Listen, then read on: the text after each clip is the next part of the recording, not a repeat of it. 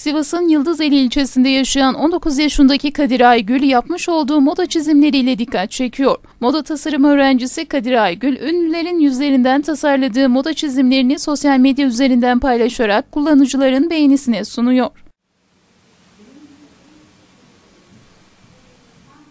Kendi yüzlerinin olduğu çizimlerini gören ünlüler Kadir Aygül'e teşekkür ederek bu çizimleri sosyal medya hesaplarında paylaşıyor. Aygül'ün çizimleri arasında Demet Akalın, Ece Seçkin, Seray Sever, Gonca Vuslateri gibi isimlerin de bulunduğu ünlüler tarafından sosyal medya üzerinden paylaşıldı. Seray Sever paylaştı. Gülşah Saraçoğlu görüp beğendi.